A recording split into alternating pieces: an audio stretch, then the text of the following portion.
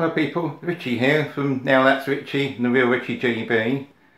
Just quick video to give you some of my thoughts on what's been happening today in the news.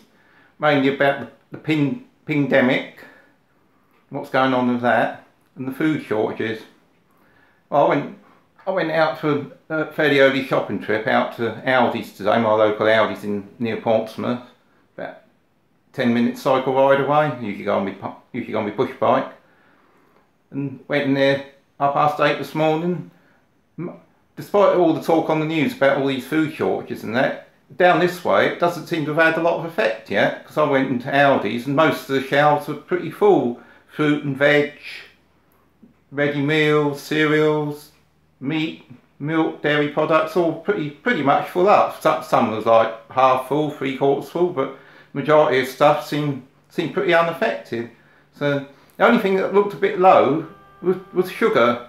Bags of sugar, brown and white sugar, that looked a bit low. But everything else, like and that sort of thing, like eggs and flour and all the pasta stuff, that all seemed to be pretty pretty much topped up.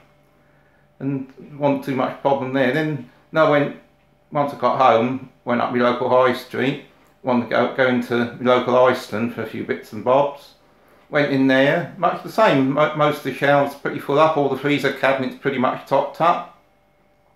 Even like all their sort of stuff that normally goes quick, even like loo rolls and stuff like that, that was all, all pretty much pretty much full up. And so no, no, not much problem there. Same, much the same with my local Poundland, went in there, got a couple of bits. Popped in Poundstretchers, couple of a few bits in there, all, all their all their food stuff seems pretty much top topped up and didn't seem to be much of a problem there. So whether it's only affecting certain parts of the UK at the moment, whether it's perhaps affecting London area, I don't know, up the Midlands more, but down this down this way, well, around Portsmouth area, it's not not too much yet. So we've just got to wait and see. I mean, that might that might change a fair bit in the next couple of weeks. I have to wait and see on that one.